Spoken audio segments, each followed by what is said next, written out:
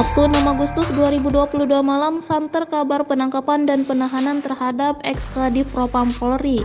Irjen Pol Verdi Sambo buntut kasus tewasnya Brigadir Nofriansa Yosua Huta Barat alias Brigadir J.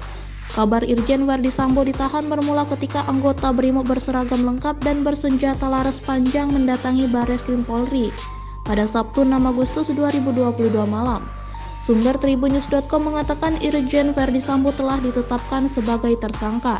Kendati demikian, belum ada kejelasan terkait kabar tersebut. Belakangan Kadif Humas Polri Irjen Pol Dedi Prasetyo membantah informasi yang menyebutkan bahwa ex Kadif Propam Polri Irjen Pol Verdi Sambo ditahan terkait kasus tewasnya Brigadir Nofriansa Yosua Huta Barat alias Brigadir J. Dedi Prasetyo membantah jika Verdi Sambo ditangkap dan dilakukan penahanan di Mako Brimo Polri. Dedi Prasetyo mengatakan Verdi Sambo tidak ditahan melainkan dilakukan penahanan di Mako Brimo Polri. Oleh karena itu, Verdi Sambo ditempatkan ke tempat khusus di Mako Brimo Polri terkait kasus penembakan Brigadir J. Dedi mengatakan status ex Kadif Propam Polri Irjen Pol Verdi Sambo saat ini belum menyandang status tersangka dalam kasus kematian Brigadir J. Dedi Prasetyo mengungkapkan saat ini Verdi Sambo sudah ditempatkan di tempat khusus di Mako Brimo Polri Kelapa II Depok, Jawa Barat.